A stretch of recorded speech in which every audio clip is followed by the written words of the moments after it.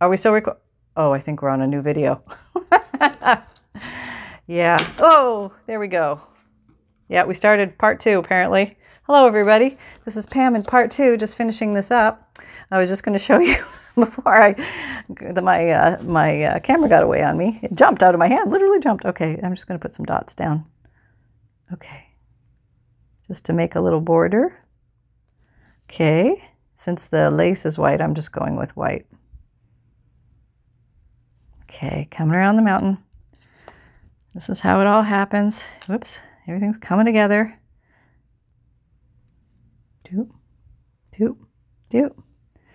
There, and maybe I'll put some here in those little areas. Put a mix one there, why not? Okay, there we go. So let me back up. Boop. And now we have a little decorated window. So you can keep going with these things and uh, pretty them up as much as you like. Probably a good idea to cover your inks when you're done. Let me back up more. And I'm going to give you a little show now of what we have made. And uh, it's probably going to be a very short part too. oh, it's, it's just been one of those days, you know, and I've decided not to fight it. I'm just rolling with it. This is the day, and I'm okay with that. All right, so let's put these here.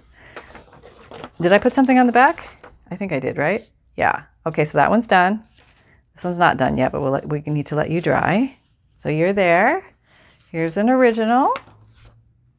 Here's the black and white. Here's a blue. Okay.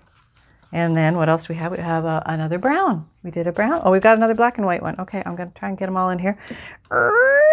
Okay, and the last guy, Mr. Inspire, is over here. So there you go, folks. I hope you had fun with uh, junk mail envelopes, direct mail um, stuff that we would normally throw away, and we're turning them into really cool large journal cards just for fun for our junk journals. Um, have fun creating, embrace uh, the joy and the challenge of doing all these kooky things, and you might have some fun along the way. I sure hope so. And welcome again to everybody who's new, and thanks so much to everybody who's been here a while. And um, if you find value here, please like, subscribe, and share, and click the notification bell. I do have an Amazon store. All my links are down below my video in the drop down list. You're going to find it to my Amazon store, my Etsy shop, which houses my vintage digital kits. Uh, occasionally journals and bundle sets. I have a monthly free emailed newsletter. Hey, be sure to sign up for that. You're going to get a free digital image emailed to you monthly. Um, you're going to get a checklist of supplies to keep your eyes open for. A note from the bookmaker you can tuck into the beginning of your journals to kind of explain what a junk journal is, and you can change it and morph it and make it your own. It comes in a Word doc and a PDF on the emailed newsletter, and um, there's junk journal tips and updates from me.